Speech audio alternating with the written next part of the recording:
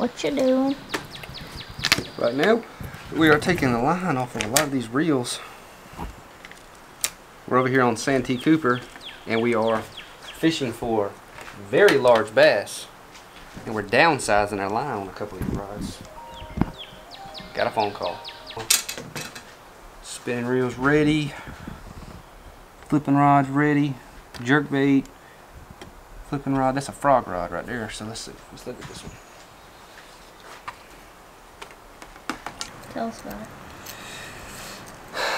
Santee Cooper. Starts in the morning. It's been tough. I'm hoping they come to where I need them to come to. Because it ain't been real easy to catch them. I don't know. We'll see. I mean, I'm kind of nervous about this one. I'm not going to play it smart, which maybe I should, but I'm not. We'll see how it goes. If I can generate enough bites, I think I can catch a good bag, but I mean, we're on Santee Cooper. If you catch 10 fish, you're to have a good bag. It's just hard to do that. So, I guess I'm to gamble. I guess I'm to gamble a little bit and try to try to make some waves, I guess. I don't know. Hopefully we could at least, if it, if it doesn't go well, I'm really hoping we can at least salvage it and end up having a decent tournament, even if it goes poorly. So, I'm not planning on it going poorly though. I'm hoping we can catch them early, get off to a really good start, and it'll be good. I don't know what you guys see. Do you feel a lot of pressure going into this tournament? Because of your last two? No. I can't, I don't know if it's possible for me to feel more pressure going into these tournaments because I put so much pressure on myself naturally. I want to do so well in these tournaments that I just try to be as prepared as possible. I just um, always try to control everything I can possibly control, make good decisions, you know, and see what happens. All right, guys, what's going on? Rigging right now for Santee. We have an off day on this one, which is pretty cool. We don't have an off day too often, but we do have an off day on this one.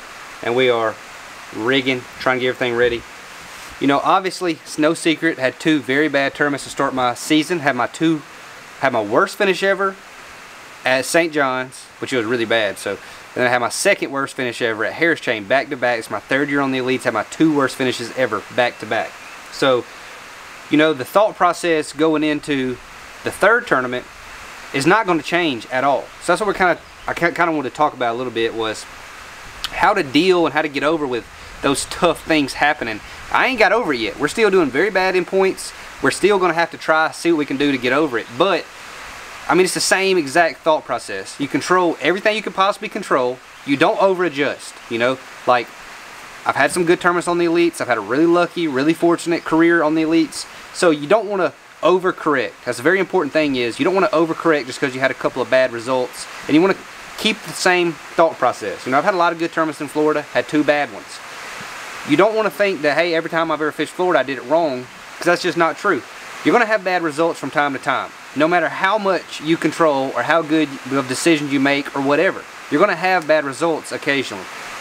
And that's kind of what you know you have to realize going into something like competitive fishing is sometimes bad stuff's just gonna happen. Point blank period it's just going to. And you just want to keep doing the same thing you're doing that got you here. Control everything you can make good decisions try the best you can to execute and not lose any and be extremely prepared for these tournaments and then just you know hope you have a, a positive result that's just the fact of the matter you know, that's all you can do. You know, like I can't control where exactly a fish swims or if a fish bites or if he don't or if he looks at it and he almost bites then he don't bite. I can't control none of that stuff. All I can do is put my bait in front of as many bass as I possibly can, give them opportunity to bite it, and when they bite it, I have opportunity to catch them. So, same thought process, and that's that goes with everything in life, you know. Any, sometimes bad stuff just happens. You keep working hard, you keep going, and you try to dig yourself out of whatever hole you got into, and if you, if you don't dig yourself all the way out of the hole, oh well. You just continue to progress, continue to get better. And that's my only goal. I want to stay on the elites for as long as I possibly can, and I want to continue to improve for the rest of my life. I want to be a better fisherman in five years than I am right now. I don't want to be the same. I want to be a better fisherman after this tournament than I am right now. So that's kind of the thought process that I have, and that's just kind of the way that I'm dealing with a downswing in bass fishing. You know, I've dealt with a lot of downswings in fishing before. I've dealt with a lot of downswings in poker, dealt with downswings in life sometimes stuff just happens like that. And you know, just a positive outlook, making good decisions will get you out of almost everything you ever get into. So, you know, that's that's kind of what we're trying to do this week. Make good decisions and catch us some daggum bass. And they need to be about that dang long. So, I'm hoping, I'm hoping we can do it. What do you think you did? Do you think you did anything wrong, or do you think you made bad decisions, or do you think you got unlucky? St. John's, I don't know what happened. I fished, I went back and looked at the footage. I thought back on it. I fished pretty good, I feel like. I honestly feel like I fished pretty good at St. John's. I just didn't get any bites. Like, I don't know what else to say. I just didn't get any bites. I fished through some really good areas. I don't know. I don't know what happened.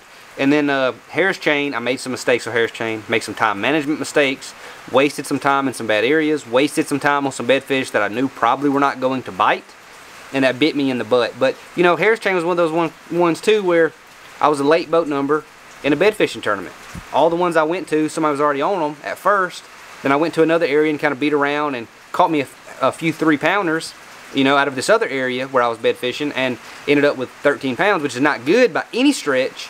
But, you know, I just, I never stumbled across a big one. I bed fished almost the entire day. Caught some fish, caught a limit early, caught a lot. I just never found one of those big ones that would bite. So on day two, I decided to just fish a little bit more and I didn't bed fish much. What little bit I did bed fish, I, I, mean, it just didn't come together. And then whenever I was just fishing, I didn't catch them. Like, you know, I didn't get any bites hardly. I caught some, you know, I, you're going to lose some here and there. I lost some on every tournament. But, you know, that's just, that's just how it goes. On Harris Chain, I wasted a little bit of time. I made a couple of bad decisions. That being said, I had 16 hours of fishing time. I probably wasted two and a half, three hours. You know, so I still had 13 or 14 really good hours of fishing time during that tournament, and I still didn't catch them. So maybe I decided to stay in some areas that are just not quite as good as I thought they were. I'm not really sure. But regardless, we didn't catch them, and we're at the Santee. We're going to stop thinking about what we did wrong in the last two and think about what we can do right in this one. And tomorrow, we might be fishing stupidly because I'm think I'm going to gamble and try to catch us some daggone biggins. What does gamble mean? I've got an area where I feel like it's a safer play. It's definitely not a guarantee. It's, it's not a guarantee at all that I can go there and catch enough to get a check for two days in a row. And that's an area that I don't really think is going to hold up for multiple days. So I'm going to run to an area where I did not get very many bites at all. I've seen some big ones. I've seen some bedfish. And I caught one big one. And we're going to run to that area. And we're just going to see what happens. I'm hoping that we catch them. If we don't, we just don't. But I'm really hoping that we can generate some bites down there and catch the limit. Are you going to bail at like 11? That's the plan right now. I'm going to go to my starting area, see what happens. And if I, if I fish around in there for an hour, hour and a half, and I have not got a bite, we're to have to bail and go go run to some bedfish, fish for some bedfish for I mean, if they start biting, if I can pick them off and catch them and get some stuff going, I'll do that the whole rest of the day. If I go to three or four bedfish and I can't get them to bite, it's 11 o'clock and I've got one, or it's 11 o'clock and I've got none or something, we're bailing. We're to make like an hour-long run somewhere else and uh,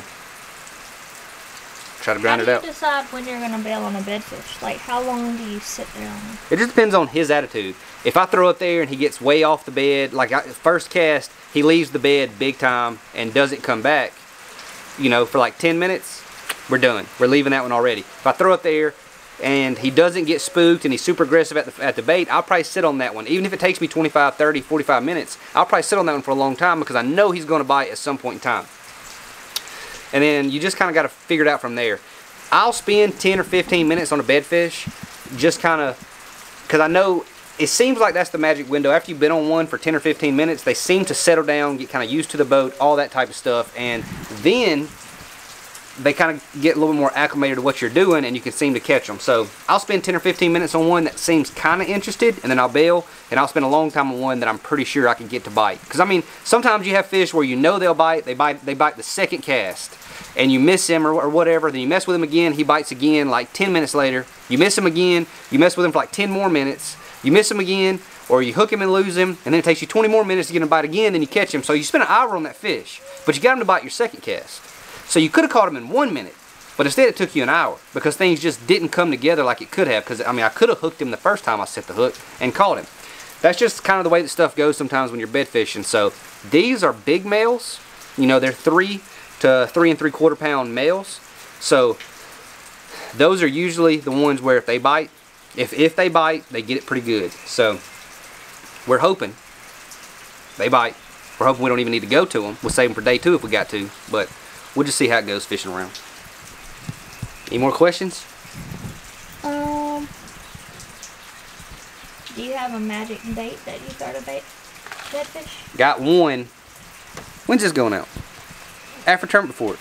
Well, I was gonna do it before, but we can do it after now since we've already given. Before is fine, cause no, no nobody can no nobody can uh, get these. I don't think.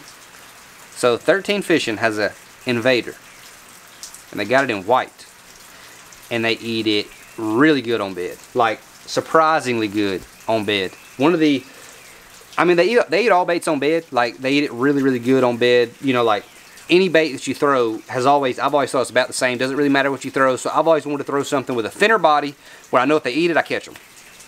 Since I've been flipping that bait on bed, My question is, I've heard them. a lot of people talk about how like whenever they first get to a bedfish, they like top water them a little bit or like mid water them. Do you always just like yeah, always. you're always gonna do something that goes to the bottom? Yep. You're never gonna like try to aggravate them from the top or anything. I will if he won't bite. But for me, I want to throw whatever bait in the bed that I'm going to land him the most percentage of the time on. That's what I think about whenever I'm bed fishing is which bait, if he bites, will I land him on? And usually, I want to have a 4-aught Gamakatsu straight shank hook and some kind of small little piece of plastic. And when I set the hook on him, coming in the boat probably like 97% of the time. You did catch an eight pounder on a spinning pole in Florida. I did. Caught an 8 pounder on a spinning pole in Florida. That's all it would bite. That's the only thing I could get it to bite. And you know, I'm not, spinning pole will catch them. It'll catch big ones. But that fish, I couldn't get him to bite, couldn't get him to pull up in the bed, nothing. And I just was throwing that wacky rig to his face. Like I was letting it drop in front of his face. And finally it ate it. So, I'm not above it. I'll catch one. I'll catch one on an old spinning pole on an egg beater. Day one starts tomorrow. Day one, in the morning.